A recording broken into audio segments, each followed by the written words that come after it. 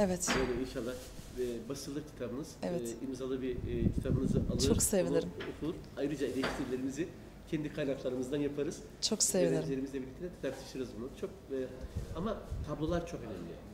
Sonuçta siz bir ressamsınız. Bir duygu e, ressamı, sanatçısı olarak o tablonuz mükemmel. Ona yani bir ressam olarak değil de bir eleştirmen olarak da değil, bir izleyici olarak, sergiyi izleyen bir sanatsever olarak tablolarınız çok mükemmel, çok etkileyici. Yani hem reel tablolarınız çok iyi, hem sürrealist tablolarınız çok iyi. Yani hem sürrealist tablolarınızdaki o mistik e, dünyanın e, hem figürlerini hem kahramanlarını iyi analiz etmişsiniz. O konuda bir bilgi birikiminiz var. E, bir de e, gerçek dünyada e, kadın ve e, diğer vatandaş e, anatomik e, resimlerde de çok güzel bir portreniz var.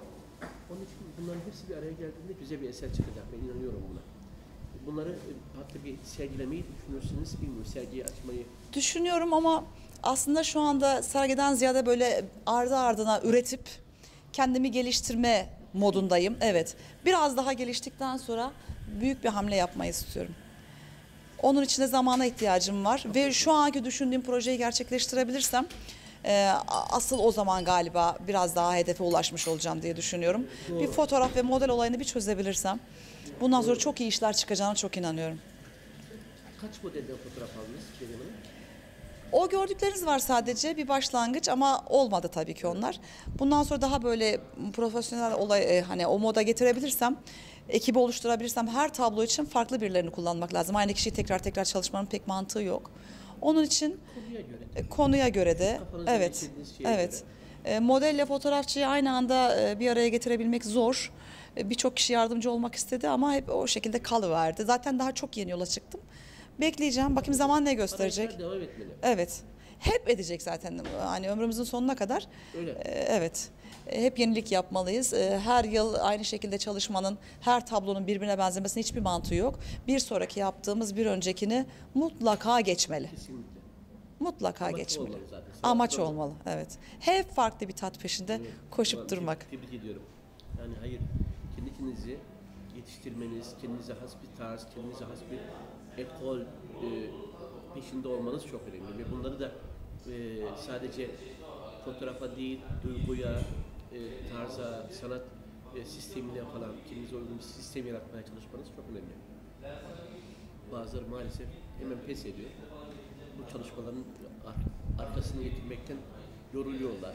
Ama Evet. sizde öyle bir yorgunluk yok. O çok önemli yani. Ben her gün sanki hayata yeni gelmişim gibi hissediyorum. Her gün inanılmaz bir heyecanla. Çok iyi. Bu çok güzel bir şey evet. İnşallah gerisini getirebilirim. Bence hiçbir engel yok. Hiçbir engel yok aslında. Tek sorunum dediğim gibi model ve fotoğraf. Bunu çözdüğüm zaman gerisi de gelecektir. Siz eserlerinizi üretmeye başladıkça, kitaplarınız çıkmaya başladıkça ve bu tür yazılar, paylaşımlar oldukları olduğu müddetçe herkes sizin modeliniz olmak ister. Ben de şimdi onu diyecektim. Birkaç tane ortaya çıkınca Evet, birçok kişi bana model olmak için Evet. sıraya bile girecekler diye de düşünüyorum. Düşüncedeyim şu an çünkü bu kalem ve bu fotoğraflar, bu çizgiler, bu renkler insanları etkileyecek boyutta yani. Ben onu görüyorum şu an. Ama çalışmalar özele indiği zaman, birebir bir modelle beraber olduğu zaman, ileride bir sanatçıyla beraber olduğu zaman ya da işte bir sanatçının yazarları olabilir, kadın yazarları olabilir, heykeltıraşları olabilir. Onların bazı eserleriyle birlikte kendilerini de resmederek onların fotoğraflarını, tablolarını oluşturmayı düşünebilirsiniz. Ya da onların eserlerinin bir kısmına bir e, kapak e, fotoğrafları ile onlara katkı sağlayabilirsiniz. Onlar size çok değişik dönüşler olabilir. Şöyle bir şey hayal etmiştim birkaç yıl önce. Ee, bir seri yapacağım. Mesela ünlü e, yaşama insanlığa çok e, fazla şey katmış biri diyelim ki siz. Sizin çocukluğunuzdan itibaren yaşantınızda böyle o dönüm noktaları vardır ya. Belli evrelerinize 10 tane diyelim. Büyük tablolara yapacağım. Sergiyi yaptık. Diyelim ki siz e, bilmiyorlar, merak ediyorlar yaşantınızı. İnsanlar kitap okur gibi gelecek, sergiyi gezecek ve Semir Bey kimdir? Nedir? Ne yapmıştır? Ne katmıştır insanlığa? Çocukluğunda Evet, o evreye bir kadar. kitabı alıp okumak değil mi? Yani belli bir zaman gerektirir. Ama sergiye girecek Tabii. 5 dakika içerisinde sizi tanıyıp gidecek. Mesela diyelim ki Atatürk'ün hayatını yaptım. Önemli bir şey.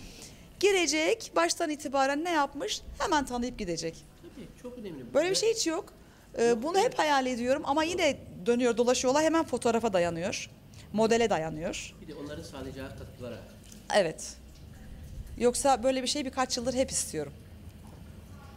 Ama bu şekilde bir başlarsak ben biliyorum ki bu artarak, katlanarak gerisi gelecek. Ve birçok kapının da açılacağına inanıyorum. Kesinlikle aynı düşüncedeyim ben.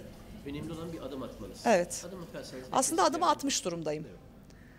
At- Evet, adımı atmış Gördüm. durumdayım. Evet. Gördüm. Ve sizler gibi e, paylaşacak, e, Tabii. bana güç verecek, katacak, arkamda duracak, Sanatçılar inanacak kişilere zorunda. ihtiyacım var. birbirine yardımcı olması lazım. Evet. zaten.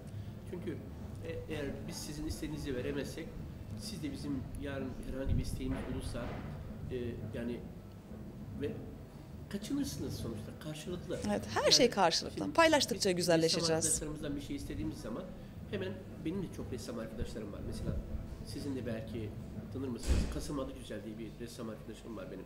Mitoloji e, Çok az ressamı. kişiyi biliyorum Evet. çünkü ben çok yeni çıktım yola Doğru. daha. Evet. Mesela o mitoloji üzerine çalışır. Sadece antik üzerinde eserleri vardır. Ben bazen çok böyle çaresiz kaldığım zaman örneğin benim Komikaze diye bir oyunum var. O yakında çıkacak. Ama çok özel bir oyun. Ee, ben konuyu anlattım. Hocam dedim böyle böyle böyle bir afişe ihtiyacım var. Çok enteresan buldu. Ben dedi e, konuda sana yardımcı olacağım. Çok benim de ilgimi çekti dedi.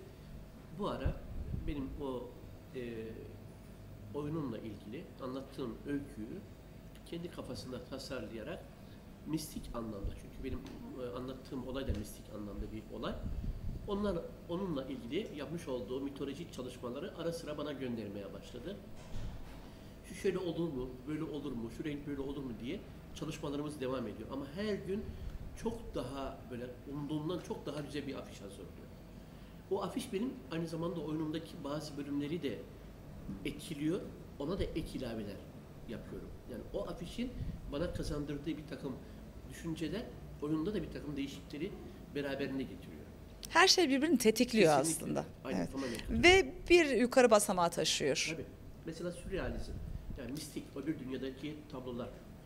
Ee, Birçok kişi, Picasso veya ne bileyim işte e, Salvador Dali, yani veya işte ne bileyim e, Abidin Dino, zamanımızın ressamlarından Bedir Baykam, bunlar sürrealist alanda varca dünya çapında insanlar.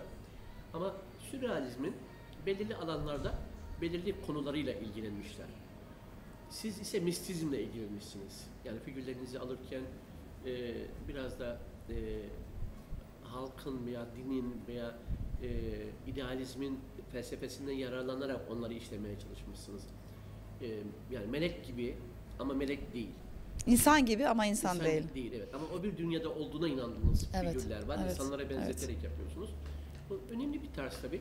Bu tarzda Ama ben hep öyle kalmayacağım işte. Hani birçok Evet, kişinin belli bir tarzı vardır Tabii. ve hep öyle ilerler. Ben onu yapmak istemiyorum. Tabii. Ben her 10 tablomda yeni bir arayışla, Tabii. bakın o kadar şiddet bitti, arkasından onu yaptım. Şimdi de bu dünyadaki duyguları işlemek istiyorum. çok önemli. şey. Her defasında farklı bir şey denemiyor. Hem plastik etki açısından, Çok doğru. hem konu açısından, hem duygu açısından. Evet, buyurunuz efendim. Onları işlemek istiyorum. Alabildik rahatsız etmesin sizi. Şu benim, ikisi benim. Evet, evet, evet, evet. Ee, güzel bir yoldasınız. Yani ben hani e, tarz olarak, sistem olarak yani kendinize has bir sistem e, oluşturmuşsunuz. Tabii bir tiyatrocu gözüyle, bir sanatçı gözüyle, yani sevgiyi izleyen birisi gözüyle gerçekten çok önemli bir şey. Ee, çok da yararlı olacağına inanıyorum ben.